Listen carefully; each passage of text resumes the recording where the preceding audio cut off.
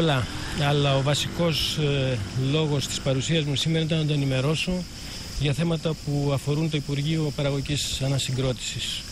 Ε, βλέπετε ότι το τελευταίο διάστημα προσπαθούμε να επιταχύνουμε το βηματισμό μας. Είναι πολλά πράγματα που εκκρεμούν και προσπαθούμε να κερδίσουμε χρόνο. Υπήρξε όμως μια ιδιαίτερη αναφορά στο θέμα που έχει να κάνει με τις κουριές. Ενημέρωσα τον Πρωθυπουργό ότι η εταιρεία Ελληνικός Χρυσός ε, έχει παραβεί τους όρους των τεχνικών μελετών που αφορούν το έργο. Με απόφασή μου σήμερα ανακαλούμε τις εγκρίσεις των τεχνικών μελετών κατά συνέπεια ε, αυτό μεταφράζεται σε, μια, σε ένα προσωρινό σταμάτημα των εργασιών ε, της εταιρείας της Κουριές. Θέλω να πω με αφορμή αυτό ότι για την κυβέρνηση οι επενδύσεις είναι καλοδεχούμενες, είναι απαραίτητες, αναγκαίες, αλλά πρέπει και οι εταιρείες να σέβονται τους όρους με τους οποίους έχουν δεσμευτεί έτσι ώστε να μην θίγεται το δημόσιο συμφέρον και το περιβάλλον.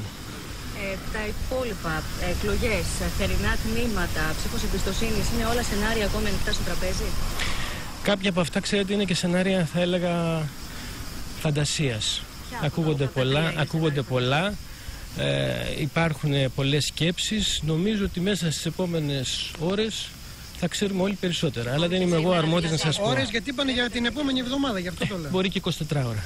Βλέπετε εκλογές άμεσα. Έχω δώσει πολλές συνεντεύξεις γύρω από αυτό. Γνωρίζετε την άποψή μου την προσωπική. Δεν θέλω να την επαναλάβω.